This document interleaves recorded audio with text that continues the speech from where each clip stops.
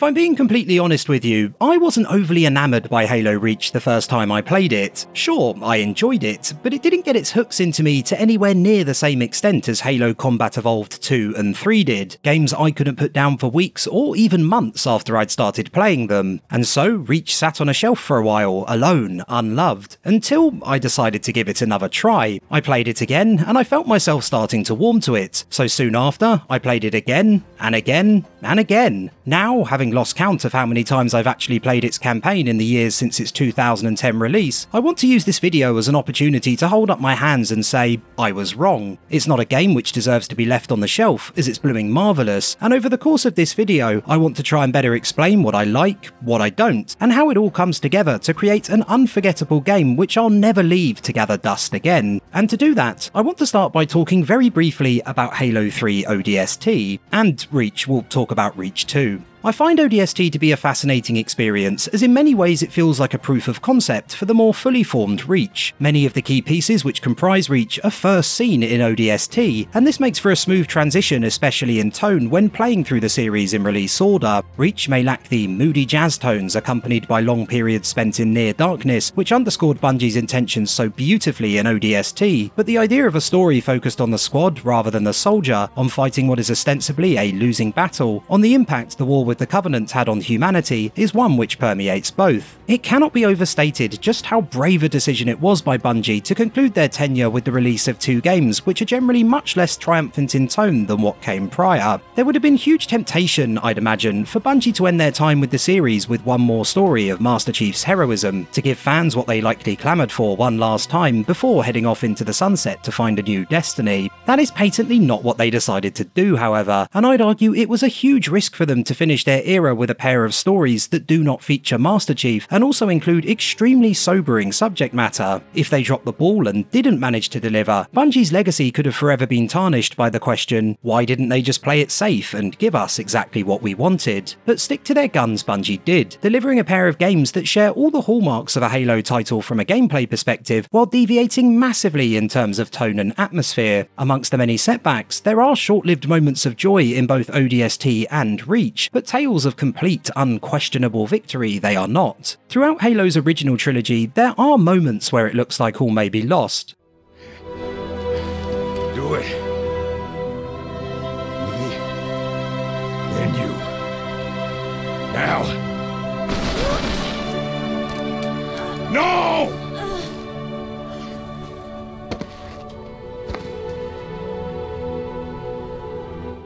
However, there's also a sense of inevitability to proceedings, the feeling that no matter how bleak things may be, Master Chief's and by extension humanity's triumph will be cemented by the story's end. ODST and Reach 2 share a sense of inevitability, but it's very much the inverse of what you may have become accustomed to during your time with Halos 1 to 3. If the original trilogy's story is a novel which weaves a grand narrative of eventual success, then ODST and Reach are bleak short stories. They are not long form epics about overpowering an enemy, but rather briefer tales about being overpowered. You could never get away, I don't think, with creating a trilogy that functions in a similar manner to Reach, with the player character's fate sealed and not in a good way by its finish. It would be a sour note for such a huge time investment to end on, and so it makes perfect sense that Reach and ODST function almost as one off tales. Both have plenty of connections to the wider Halo story, that cannot be argued, but equally, they can also be enjoyed by newcomers to the series who have perhaps had less exposure to Halo's overarching narrative. With regards to this new, more somber approach to tone and atmosphere, Halo Reach sets out its stall from minute one, opening with the now famous shot of Noble Six's helmet lying abandoned atop the scorched earth, and the game concludes with a similarly framed but far more hopeful scene. Six's helmet remains, a remnant of a conflict which ended nearly 40 years prior, and as Dr. Catherine Halsey delivers her rousing monologue, it becomes clear that Reach is a planet which has seemingly risen from the ashes.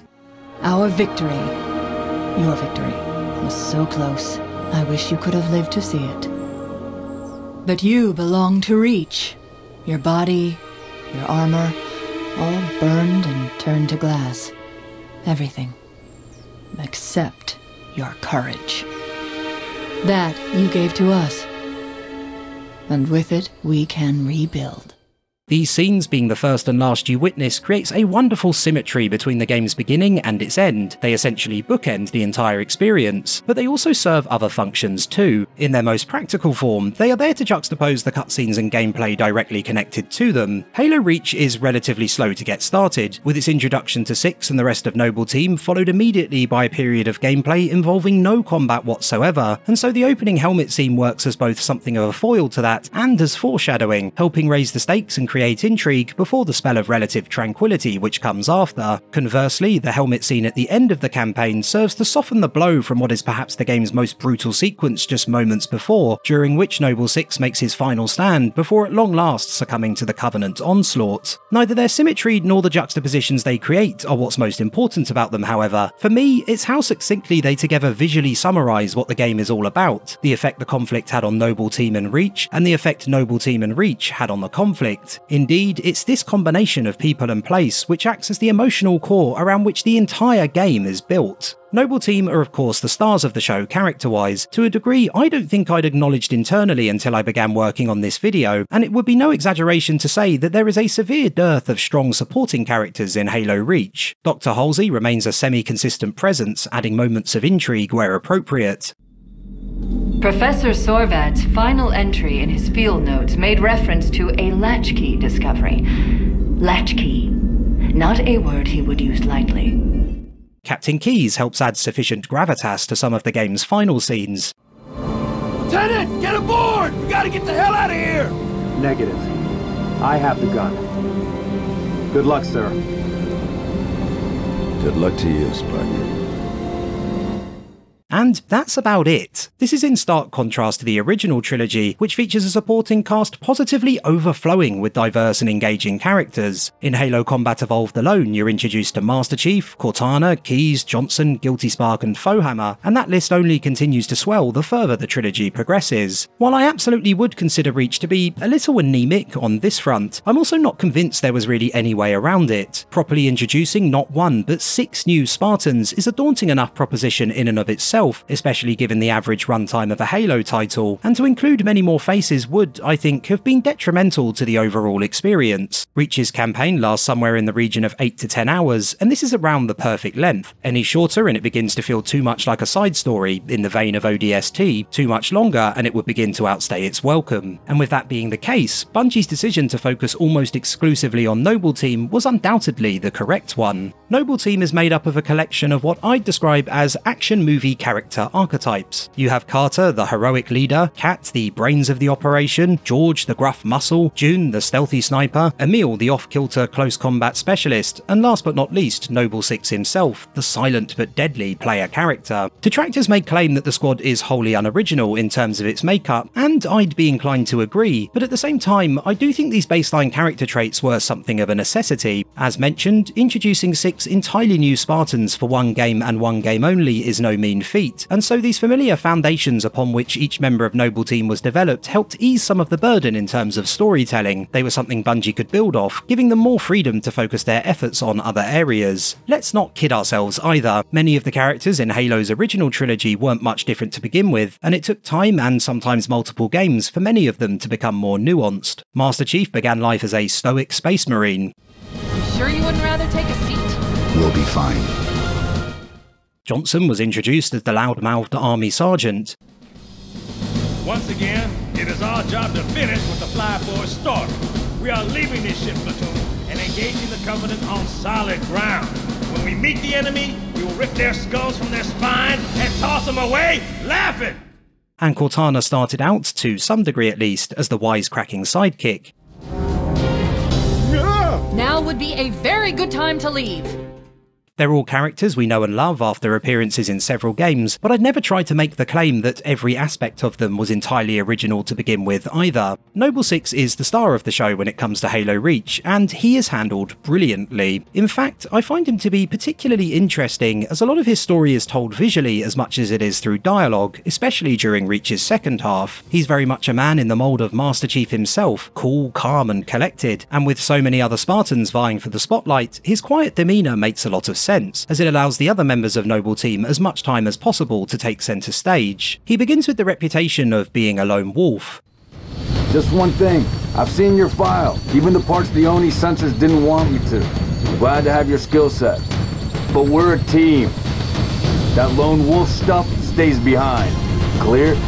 Got it, sir and exudes an air of confidence despite being the newest member of the squad, which I suppose is appropriate given his hyper-lethal designation. At the start of Winter Contingency, Kat has to stop him from marching directly up to Carter, and at the beginning of Exodus, around the game's midpoint, you witness him clutching the recently deceased George's dog tags, seemingly with thoughts of retribution on his mind. But just a single mission later, that resolve has clearly been broken to some degree, as he sits forlorn, slumped in a pelican, watching the city of New Alexandria burn during one of Reach's strongest moments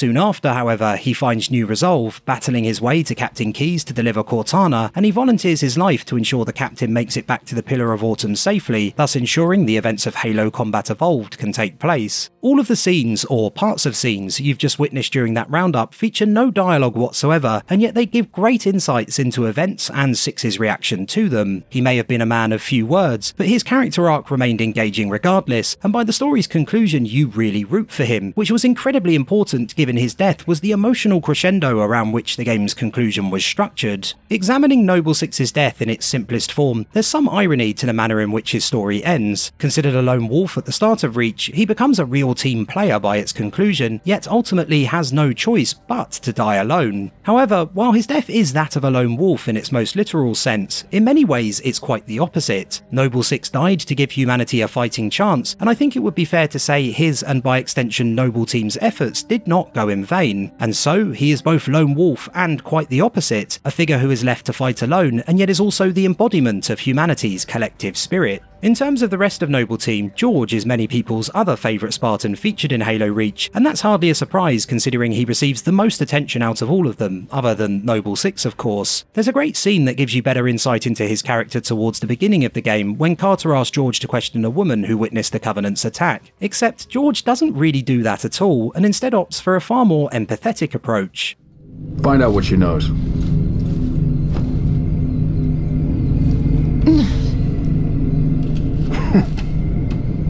What's your name? Do you live around here? Arnevim George. Shada. Shada? Se Nev. Your accent sounds familiar. Shopron? Tangari. Friend of yours? Father. Sha'ainalom. I'm sorry. Why would you be?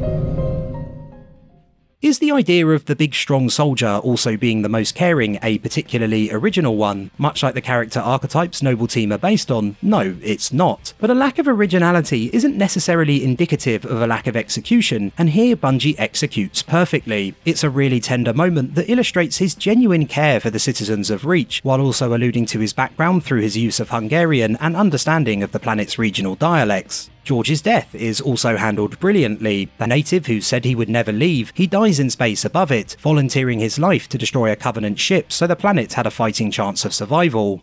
At current velocity, 53 seconds to end yeah, point. Yeah, yeah, News is, time is fried. I'm gonna have to fire it manually. That's a one-way trip. We all make it sooner or later. Better get going, Six. They're gonna need you down there. Listen, Reach has been good to me. Time has come to return the favor. Don't deny me this.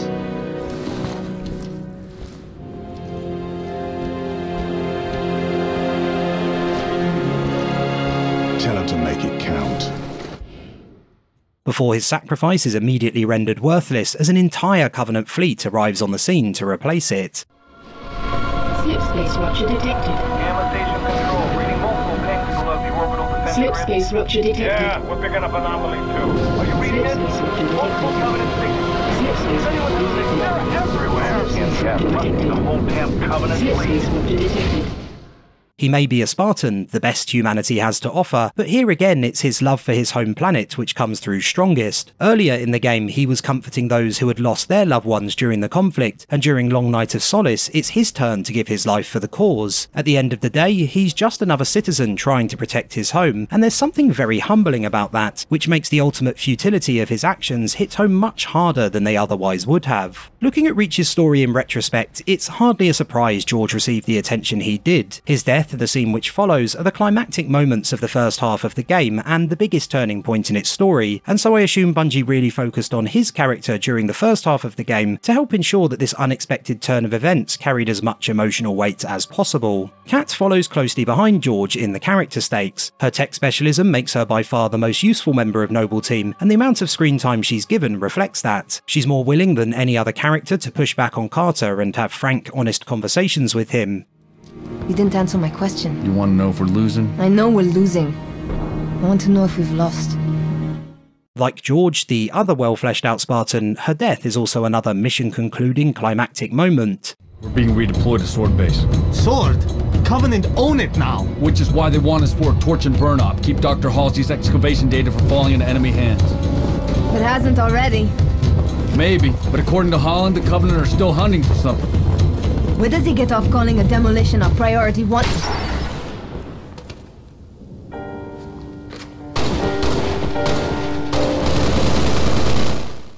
And given that's the case, I don't think it's a stretch to make the claim that the amount of care and attention paid to each character directly correlates to how dramatic their death is. Kat's death comes out of nowhere and is wonderfully shocking. You could liken it to a horror movie jump scare in that it's designed to surprise by occurring when least expected during a period of relative calm, but at the same time, it is in keeping with the idea Reach so often pushes that not all Spartans are Master Chief, and that even humanity's strongest have an air of fragility about them. It's the only death of its kind in the series, and most other characters' demises tend to be accompanied by at least some fanfare or one last act of heroism, and so I think it hits the mark both within the context of the franchise and Reach itself as an unexpected gut punch. Remaining on this topic for a moment, we must also not forget that like Noble 6, there's no small amount of irony in the ways the rest of Noble Team meet their makers, and their deaths are some of my favourite parts of the entire game. As discussed, Noble 6 dies a lone wolf despite becoming a team player during the campaign. George, the demolitions expert quoted as saying he'd never leave Reach, is killed by an explosion in space above the planet. Kat, an expert in technology, is shot dead due to a shield malfunction, possibly caused by the Covenant's glassing of Reach. June was a sniper used on reconnaissance and stealth missions, and he disappears alongside Dr. Halsey, his fate left unclear, although it is later confirmed in the expanded universe that he lived to fight another day. Carter is the leader who goes down with his ship, and he's soon followed by close quarters combat expert Emil, who is killed by an elite wielding a sword. Each suffers a fate in keeping with the archetype they represent,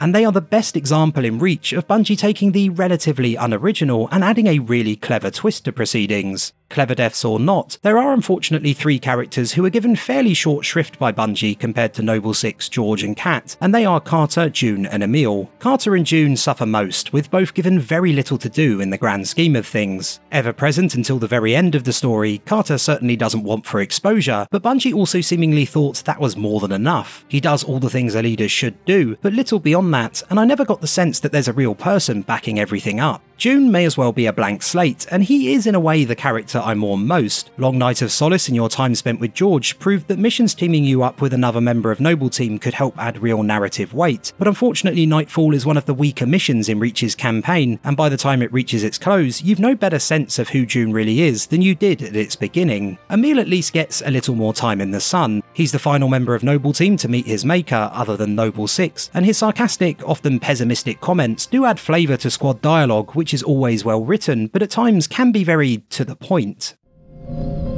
Big man forgets what he is sometimes. She just lost her father. She needs a full psychiatric workup. She's not the only one. Lock it down, both of you. Get her on her feet. The body stays here. Thank you, sir.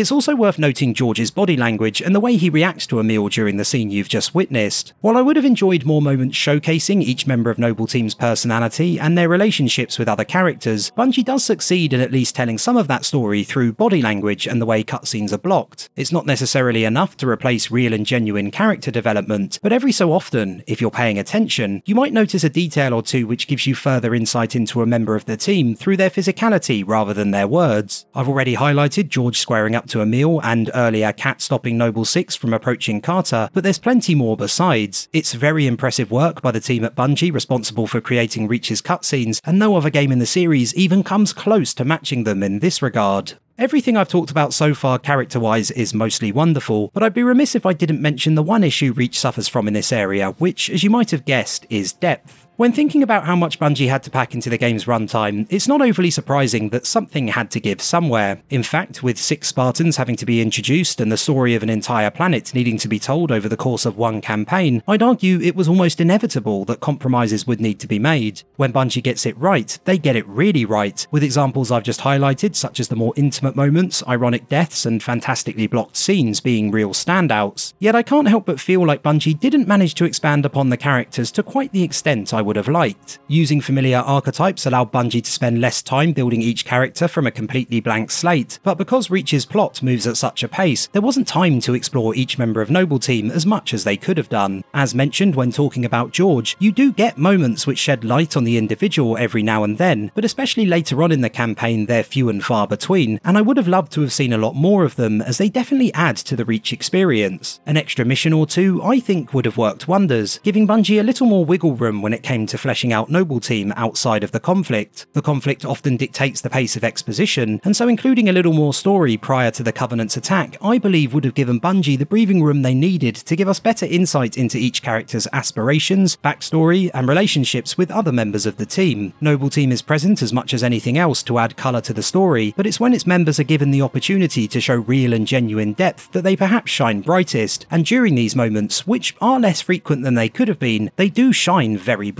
indeed. Something I just touched on is the story's pace, and it perhaps negatively affecting character development, and I think this is a good moment to clarify that a plot which moves rapidly isn't necessarily a bad thing. Reach's story certainly progresses very quickly, which makes sense given it centres on an invasion where speed pays dividends, but because it's so well structured, it never feels like too much. This is because it adheres to a storytelling model some of you may be familiar with, known as the three act structure, which consists of the setup, the confrontation, and the resolution. The setup is covered by the missions Winter Contingency, Oni Sword Base, and Nightfall. You come face to face with the Covenant during Winter Contingency, you learn of the mysterious Latchkey discovery during Oni Sword Base, and at the end of the act during Nightfall, discover that the Covenant threat is a far larger one than you may have first assumed. Tip of the Spear, Long Night of Solace, and Exodus deal with the confrontation. You take the fight to the enemy in Tip of the Spear, you head into space with George to destroy a corvette before a larger fleet arrives, the game's midpoint twist, and the act concludes with Noble Six battling his way through the city of New Alexandria as the Covenant begin to take control of the planet. Last but not least, New Alexandria, the package, the Pillar of Autumn, and Lone Wolf provide the resolution. New Alexandria establishes that the battle for Reach is one that can no longer be won, the package wraps up the mystery surrounding what Halsey's been up to, and the Pillar of Autumn concludes the story as Cortana is safely collected by Keyes leading into the start of Halo Combat Evolved.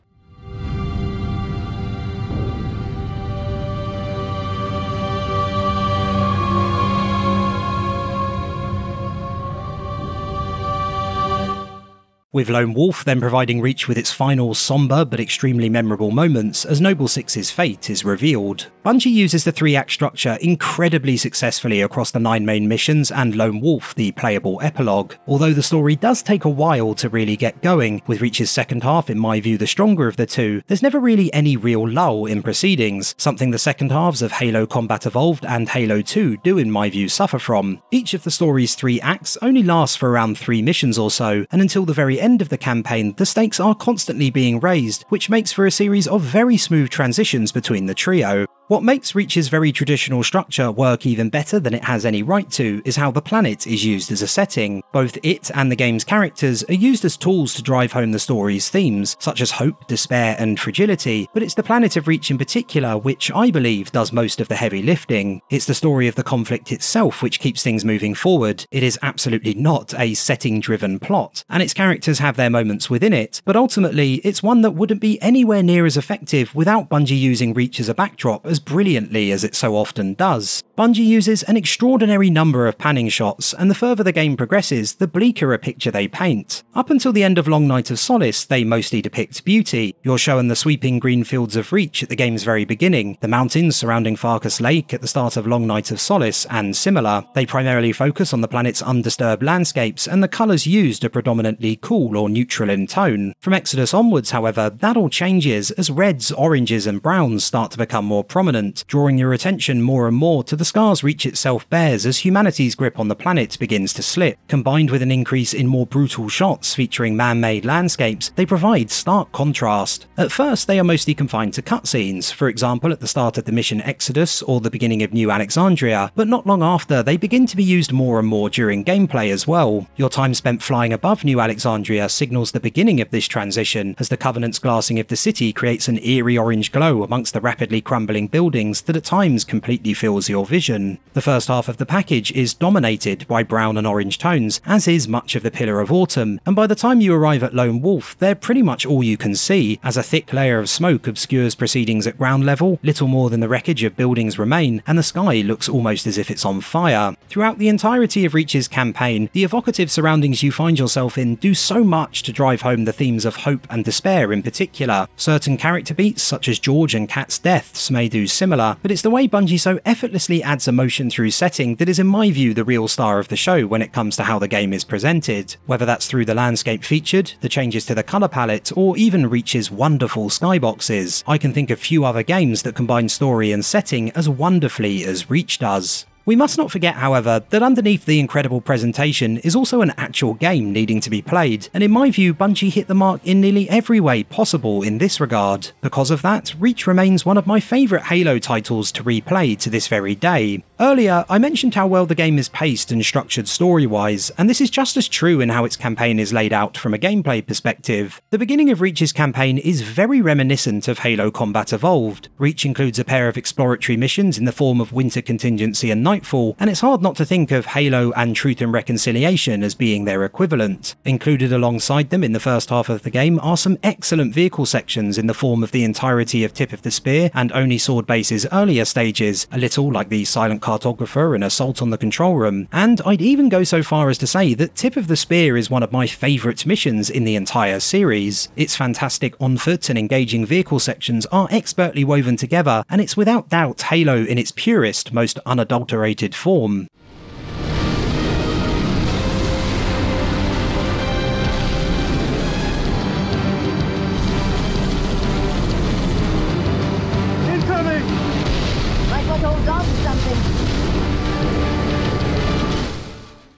It's during Reach's second half, however, that Bungie gets a little more avant-garde than you might have expected from a Halo title, and I want to highlight a few examples as in my view only Halo Combat Evolved's first half and possibly Halo 3's second rival it in terms of quality and variety. Long Night of Solace includes its very own opening beach scene, reminiscent of the Silent Cartographer's classic set piece or the Covenant's take on it in Halo 3, but it's your time spent flying above the planet of Reach that is most notable. I've never been the biggest advocate of flight sequences or on this occasion space sequences in Halo, as I think they often lack the impact more down to earth battles deliver in abundance, but I have to admire Bungie for taking a risk and including it nonetheless. It goes on far too long for my liking and doesn't feature enough variety that it ever had a chance of changing my opinion, but during a first playthrough at least, it's certainly an unexpected inclusion. Long Night of Solace also serves as a beautiful in-mission summation for where the game's story is at as a whole. You're flying high above Reach and achieve your biggest victory, but are then brought crashing back down to earth, first metaphorically and then quite literally immediately after, which is executed very well indeed. The mission which follows, Exodus, is another which really stands out as being something a tad different from the Halo norm. Prior to Reach, there had been plenty of missions set in human cities, or in ODST's case, an entire game, but none of them had ever managed to scratch the itch I had for an urban level in the vein of Halo 2's E3 2003 gameplay trailer. But with Reach, their last hurrah with Halo, Bungie delivered in abundance. Human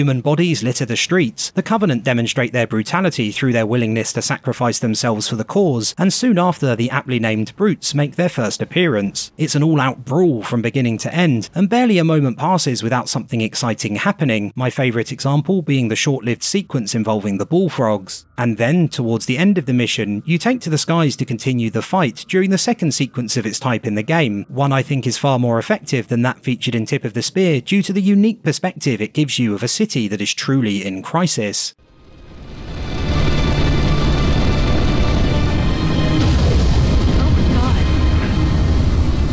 Zigzag 02, can you maintain altitude? Negative!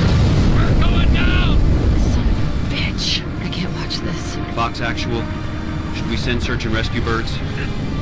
Negative dispatch. No point.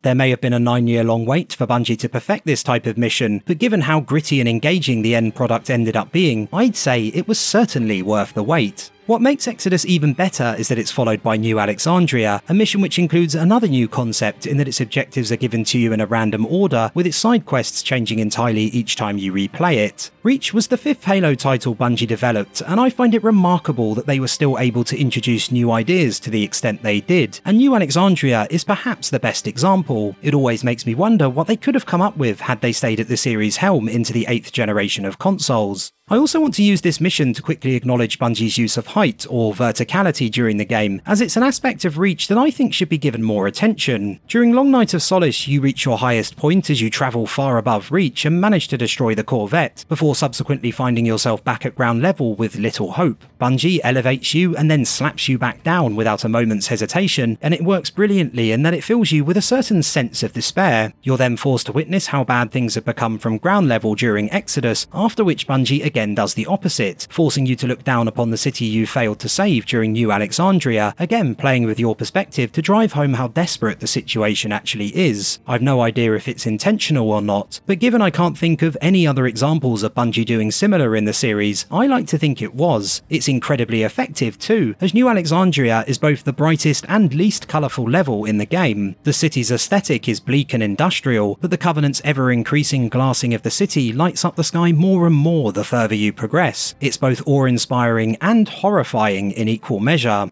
Last but definitely not least, the game concludes with playable epilogue Lone Wolf.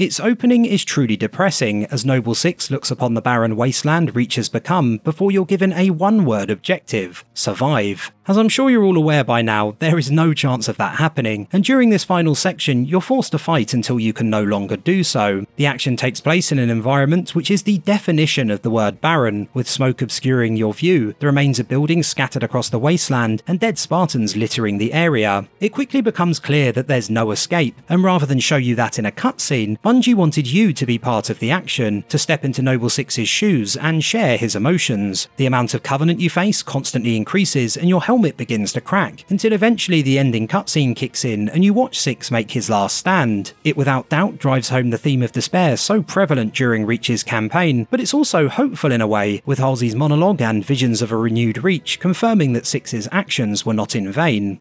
It didn't take long for Reach to fall. Our enemy was ruthless, efficient, but they weren't nearly fast enough. For you had already passed the torch, and because of you, we found Halo, unlocked its secrets, shattered our enemy's resolve. Our victory, your victory, was so close. I wish you could have lived to see it.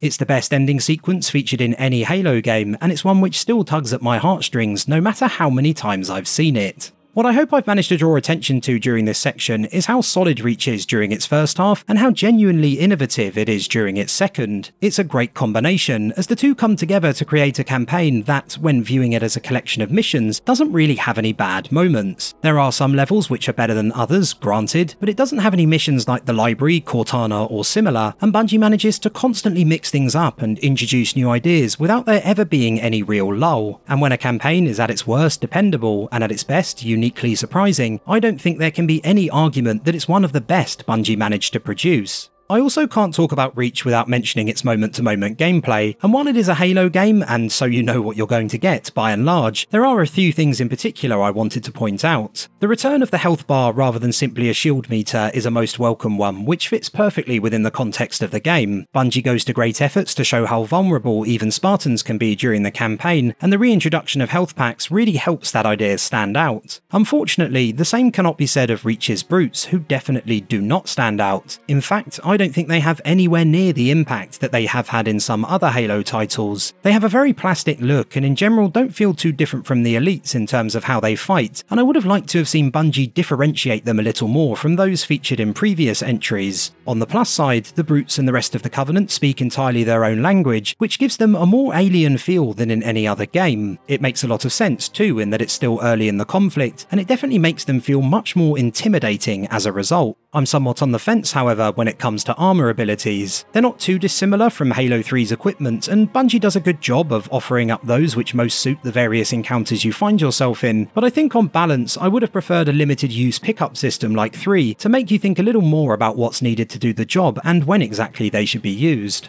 Whether we're talking about gameplay, story, or everything in between, what underscores Reach as a whole is its music. The standard of music across Bungie's Halo titles is incredibly high, and Reach more than meets it, even if in some ways it's somewhat different to what you might have become accustomed to. Okay, it maybe isn't that different. Reach certainly sounds like a Halo title through and through, but Marty O'Donnell and Michael Salvatori did an excellent job of setting it apart enough that it still feels unique when compared to the rest of the series. We must also remember that like with ODST, they had a tough job on their hands. Halo Combat Evolved 2 and 3 all had fantastic soundtracks, and because they were part of a trilogy, a lot of the tracks included within them gained emotional weight when listened to in retrospect, and many even evolved the further the series progressed. Marty and Michael didn't have that luxury with Reach, and with that being the case, what they managed to achieve is really rather impressive. Each mission has its own track containing multiple, very different sections, and I love that you can work your way through the soundtrack in the same way you'd play through Reach's campaign, supported by amazing standalone tracks such as the Overture and Epilogue, Ashes, and We Remember. It's an absolute treat to listen to. Oh, and of course, as a die-hard fan of Combat Evolved, I have to mention its own rendition of my favourite track from that game, A Walk in the Woods, on this occasion named Walking Away, as well as the lovely little nod to the original trilogy's score when you finally locate Cortana. This AI is its custodian, and she has chosen you as her couriers. Chosen? By an AI? By this AI, yes. Her measure of you carries as much weight as my own, perhaps more. You are to take her to the UNSC shipbreaking yard in Aszod. There, you'll find a Halcyon-class cruiser waiting to get her off-planet. I understand. Do you? However, unlike Combat Evolved or perhaps any other soundtrack in the series other than ODST, Reaches is in general far more somber. It does include the classic percussion or guitar based riffs to complement action sequences, but it's at its best when featured alongside some of the game's more emotional moments. With many of the trilogy's greatest scenes, I remember both the soundtrack and the cinematography in equal measure. With Reach, often the first thing that pops into my head is the music rather than the scene itself. That's testament to just how well its music emphasises the game's tone and atmosphere, as well as what's happening on screen. Carter carrying Kat's body against the backdrop of the ruined New Alexandria is a prime example.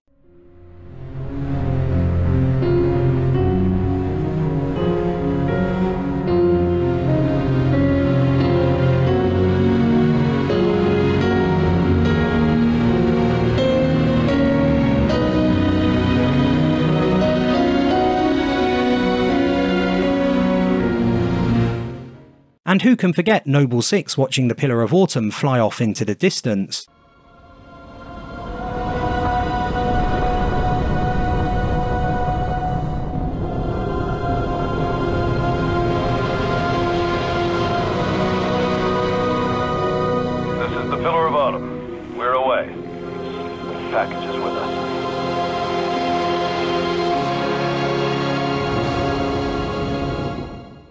The soundtrack works with what's on screen perfectly to create some very gloomy moments, but when it comes to Reach, I often find those to be the most effective of them all. I think that's a nice thought to end on, the idea of being effective. Bungie set out to tell a very specific tale, a tale of hope and hopelessness we all knew the ending to prior to playing Halo Reach, and they succeeded in their mission magnificently well. In gameplay terms, Reach doesn't deviate much from the established Halo formula, but it's when you look at how its development team managed to structure everything around that that you begin to realise what a special title it actually is. They took a big risk introducing six new main characters as part of a story which was never going to have a happy happy ending, but by expertly combining them with a number of shocking but also very sobering character moments, the incredible vistas of Reach itself, and an extremely well paced campaign, as well as a soundtrack that is both traditional and haunting at the same time, they created something uniquely wonderful. Reach may not have been Bungie's final run out with Master Chief, nor the start of a trilogy of its very own. However, it never needed to be. What it needed to do was build further on the idea that the Halo series is strong enough to flourish without Master Chief necessarily being involved, through a game that is both connected to the franchise, but very much its own thing in terms of overall tone and atmosphere. It may have received mixed opinions because of that at the time of its release, but hopefully in the present, some 12 years later, we can all agree that Halo Reach deserves to be held in as high regard as some of the best the Halo series has to offer.